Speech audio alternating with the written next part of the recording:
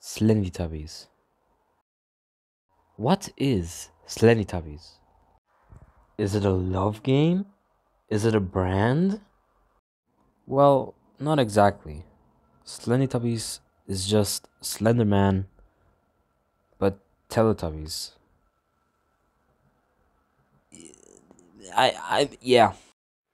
If you don't know why the Teletubbies look like this, I'll tell you. So basically, there's this vacuum cleaner, right? Called Noo-Noo. He infected the custard. And so they they four ate it all and they became infected. Now, enough talking. The only reason I'm doing this video right now is because to complain about Slendytubbies 3 mobile and what there is to improve. Alright guys, here we are on Slendytubbies 3 multiplayer mobile.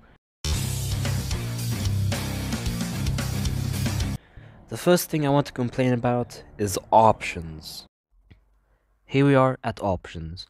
There's no back button. If you try to change the quality to high, you're stuck on the screen. Because there's no back button like on PC. I'll just put a photo up right now.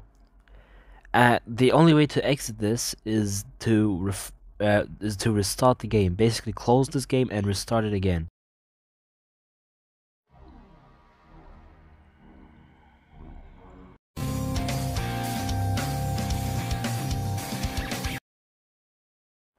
Now, the next thing I'll be complaining about is the sensitivity when you try to look around. As you can see, the sensitivity is really slow when trying to turn around. And if you try to go to settings to turn mouse sensitivity up, you'll just, you'll still be as slow as previously. Which could make attacking uh, more difficult. Well, Unless you have some friends that will help you out.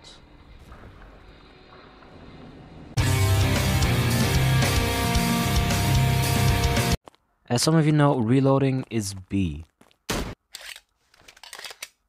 And there is this one problem where if you shoot and then try to reload, it just it just doesn't work.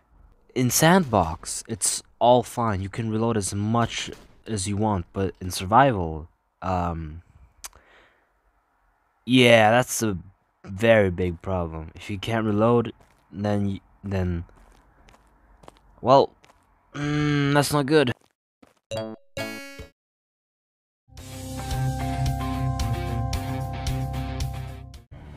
Character customization is a important one for this game. It makes your character, your tubby, uh, look fresher, more stylish. But if you look at it, half of the options are missing. And if you go on equipment, the night vision camera is just gone. It just is non-existent. Now, this is also something I just found out. If you tap on all three, they all just glow red. It, it's definitely weird interesting too, but mostly weird. I don't know why this is it there. I think that was an accident, but yeah. Now changing fur color, everything is the same. Every everything stayed the same. You can randomize the color. You can uh, choose your own color that you want. Everything is basically the same. Just you can't customize your own character basically with URLs.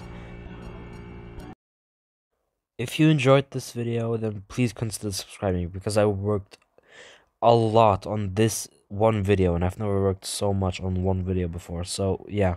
Watermelon, peanut butter, watermelon, peanut butter, watermelon, peanut butter, watermelon, peanut butter. What kind of fuck